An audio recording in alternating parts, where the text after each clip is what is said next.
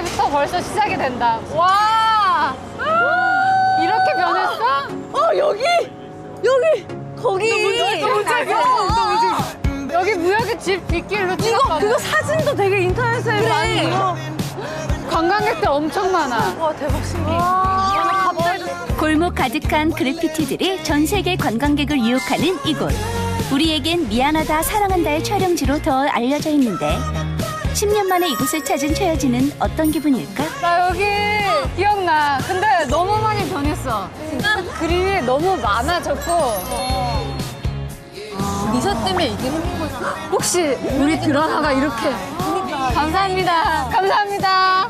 어 여기 미사라고 어디 써 있어요 미사, 미사라고 어디 써 있어요 미사길 그냥 한국인들만 아는 아 그래요 그러니까 아 나 여기 미사 스트리트라고 뭐 있는 줄 아니 아니 그거 아니고 주말엔 테러로 놀자. 토요일 낮 12시.